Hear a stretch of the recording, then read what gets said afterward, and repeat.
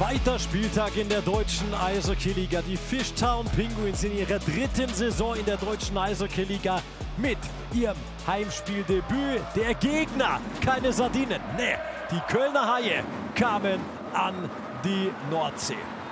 Das erste Drittel von beiden Mannschaften relativ verhalten, aber eine Riesenmöglichkeit für die Fishtown Penguins durch Justin Faser. Das war's in den ersten 20 Minuten. Das Team von Thomas Popisch gegen Ende stärker. Das sollte auch im zweiten Drittel so sein. Der bessere Start aber überraschend bei den Kölner Haien. 23. Spielminute, erster Schuss auf Jaroslav Hübel und der Pass zerrissen mit dem Schuss. Und als letzter wohl Sebastian Uvira am Puck das 1 zu 0 für Köln. Dann aber spielte eigentlich nur noch Fishtown. Und wie der Ausgleich in der 28. Minute durch Neuzugang Carson Macmillan. Faser aus der Luft genommen und ebenso dann Macmillan ein Kunsttor zum Ausgleich für die Fishtown Penguins. Hier nochmal deutlich zu sehen, Macmillan als letzter am Puck in der Folge. Viele Strafen auf beiden Seiten, mehr bei Köln, aber die Chancen eigentlich nur bei Bremerhaven. Nächster Neuzugang, Curtis Gedig, der hier scheitert an Gustav Wesslau. Super Pass von Urbas, super Move. Am besten aber der Schoner von Gustav Wesslau. Doppelte Überzahl dann für die Fishtown Penguins. Fortunus mit Jan Urbas. Und der verwandelt in der 35. Spielminute. Powerplay, ja, das funktioniert, wie auch im vergangenen Jahr bei den Fishtown Penguins. Das zweite Saisontor von Jan Urbas.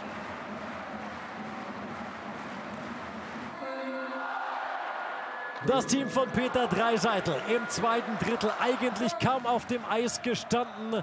Der Coach musste die richtigen Worte gefunden haben für den Schlussabschnitt. Denn jetzt kam Köln. In Überzahl. Colby Chenoway zum ersten und dann zum zweiten. Der Neuzugang mit seinem DL-Premierentreffer, den er sich praktisch selbst auflegt, nachdem Rumble geblockt hatte.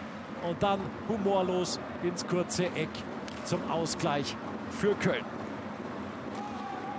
Nur 74 Sekunden später. Köln mit gutem Vorcheck, mit Druck und dem nächsten Tor. Wieder heißt der Torschütze Colby Chenoway. Durch den Vorcheck, Puck abgefangen, dann zwei schnelle Pässe, Pinisotto für Chenoway und plötzlich Köln vorne. Was hatte das Team von Thomas Popisch noch zu bieten. Erst einmal Fehler in der eigenen Zone und sofort wieder ausgenutzt von den Kölner Hain. Komplette Verwirrung bei den Fishtown Penguins. Und dann Atkinson mit Fußvorlage und Lukas Dumont mit seinem erst zweiten DEL-Tor. Weiter ging es in eine Richtung. Und der beste Spieler dieser Partie schlug auch noch zu. 51. Spielminute. Fabio Fohl. Nach dem ersten Spieltag mit dem Helm des Topscorers vor der Partie hat er gesagt, den gebe ich nicht mehr her in dieser Saison. Und er arbeitet weiter daran.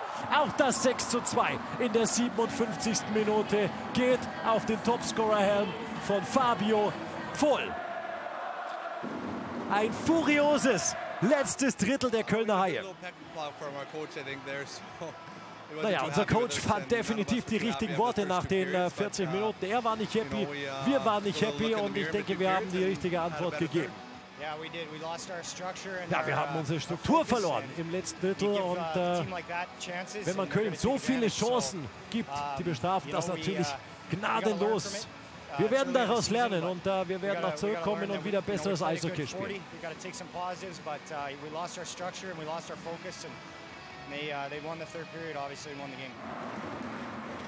Auswärtssieg also für die Kölner Haie bei den Fishtown Penguins. Mit fünf Toren im Schlussabschnitt dreht Köln das Spiel.